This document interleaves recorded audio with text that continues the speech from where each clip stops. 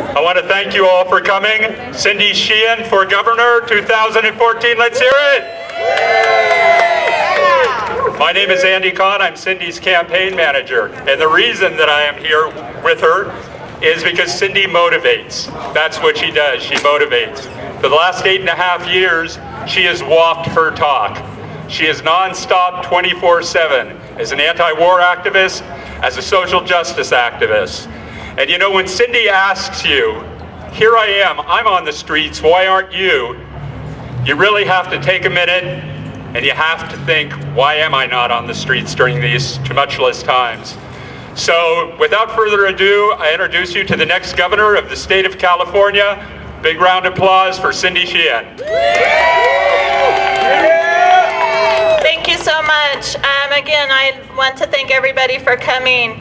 And I want to thank Andy for meeting me in Davis and riding uh, here on the bike. You gotta love a campaign manager that when you say, I think we should ride our bikes to Sacramento, he goes, okay, do you have a bike I can borrow? And so that's pretty awesome. And I just rode my bike from Vacaville, California to Washington, D.C. from April 4th to July 4th because we really believe in in the, in the environment, and I'll talk about it in my speech. And also, I heard during the last press conference something that is a, an issue that will be near and dear to my campaign is this prison industrial complex and shutting it down. But um, one of the one of the people said that we need to stop this governor. Right and I was like, yeah, and we're the people to do it. Let's stop this governor.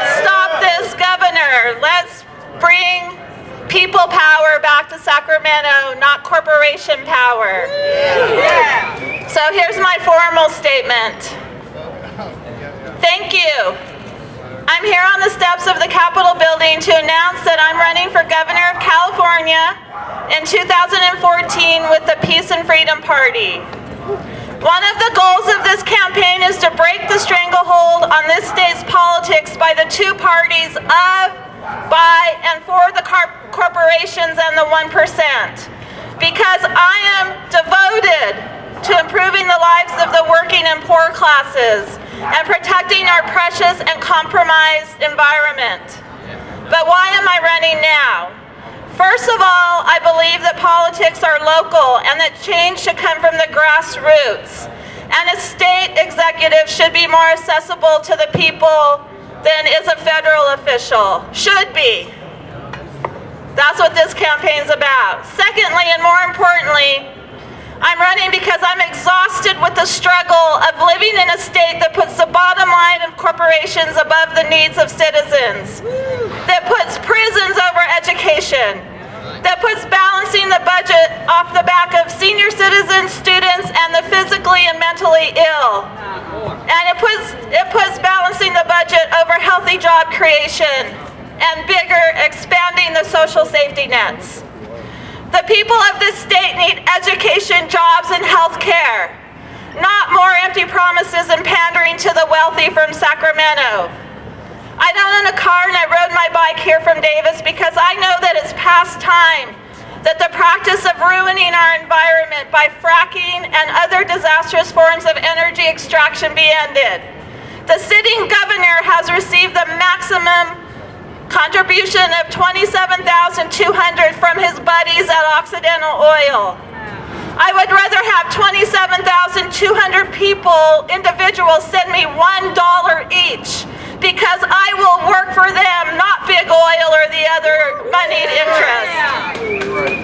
As if we needed more proof, Fukushima has terrifyingly, terrifyingly demonstrated to us that nuclear power has the potential of ending life on this planet. The nuclear plants in our state are super vulnerable to be destroyed by earthquake and or fire. They must be shut down. Yeah.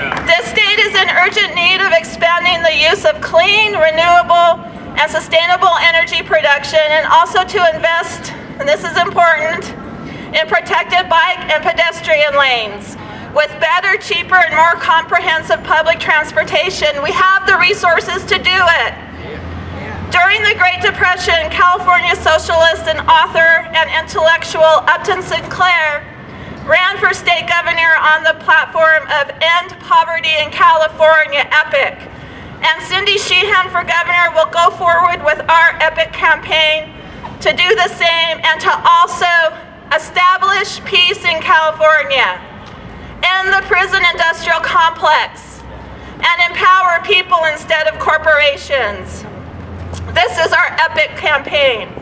Cindy Sheehan for governor will also put the restoration of our indigenous cultures at the forefront of this administration.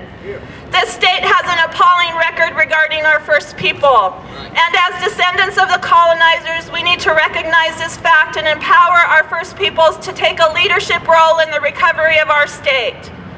The state that I was born in and love has never had a female governor. How could that be? We've only had one person of color back in like 1850. He was a, a Mexican named Pacheco. What is this? Our country has been run to the ground by this uh, patriarchy. It's time that a woman-driven people campaign work together to rebuild this state to what we can be. You know what I think our hardest challenge is?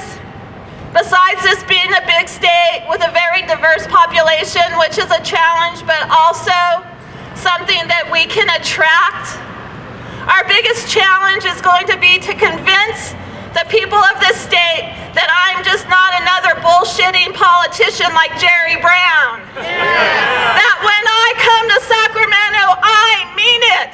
I mean what I say, I say what I mean, and I live the life that I say.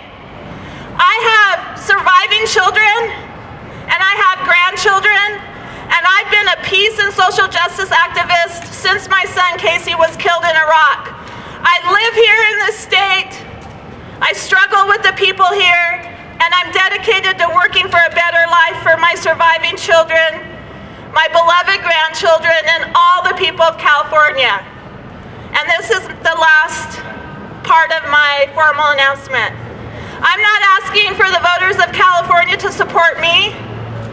I'm asking for the voters to support themselves, their families, their communities, and this state by voting for true change and putting our hopes in each other where it belongs. California can lead this nation on the road to a true working class renaissance and environmental recovery, and we're the ones to do it. Thank you.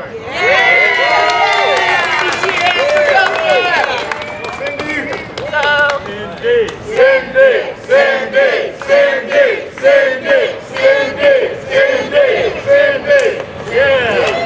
Cindy2014.org if you want to contrib- contribute that dollar. 27,200 people. Give us a dollar. Let's get kick this campaign off. Thank you.